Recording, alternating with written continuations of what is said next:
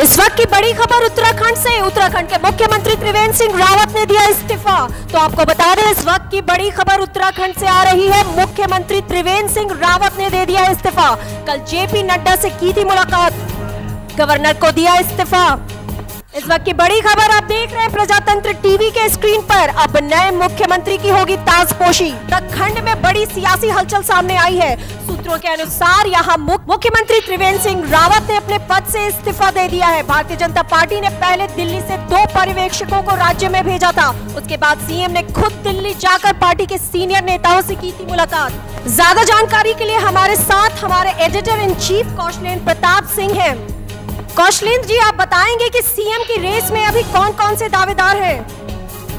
तो जी, बिल्कुल आपको बता दें, इस वक्त की बड़ी खबर, उत्तराखंड में बड़ी सियासी हलचल सामने आई है। सूत्रों के अनुसार आपको बता दें कि मुख्यमंत्री त्रिवेंद्र सिंह रावत ने इस्तीफा दे दिया है। जी हाँ इस वक्त की बड़ी खबर, प्रजातंत्र टीवी की स्क्रीन पर आप देख पा रहे हैं। भारतीय जनता पार्टी ने पहले दिल्ली से दो पर्यवेक्षकों को राज्य में भेजा था। उसके बाद मुख्यमंत्री ने खुद दिल्ली दिल्ली जाकर पार्टी के सीनियर नेताओं से मुलाकात की थी। पार्टी के राष्ट्रीय अध्यक्ष जेपी नड्डा से मुलाकात की थी। तो आपको बता दें कि जो आपका सवाल था कि मुख्यमंत्री अब नया कौन होगा तो मैं आपको बता दूँ, इसमें तीन नाम चल रहे हैं। पहला नाम है अजय भट्ट। तो आपको बता दें कि अजय भट्ट जो है, वो नैनीताल से और उधमनगर से लोकसभा के सांसद हैं, मूल रूप से हल्द्वानी के निवासी हैं।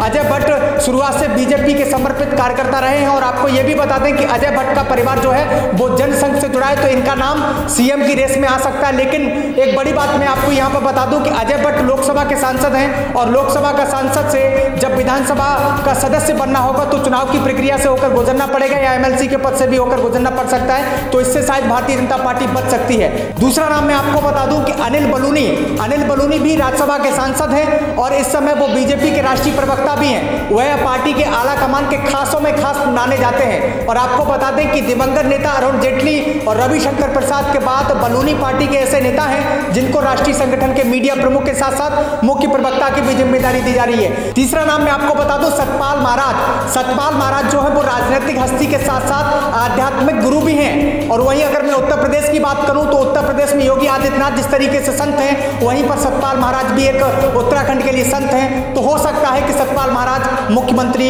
के पद के तौर पर उनको देकर नवाजा जा सकता है। और आपको यह भी बता दूँ कि सतपाल महाराज ने कांग्रेस से राजनीति शुरू की थी और देवगाड़ा और गुजरात सरकार में वह केंद्रीय राज्य मंत्री भी रहे। 2014 में लोकसभा चुनाव में बीजेपी में शामिल हो गए थे। 2017 में चौक घाटाला सीट से विधायक होने के साथ साथ वह त्रिवेंद्र सिंह राजपथ में कैबिनेट मंत्री भी हैं।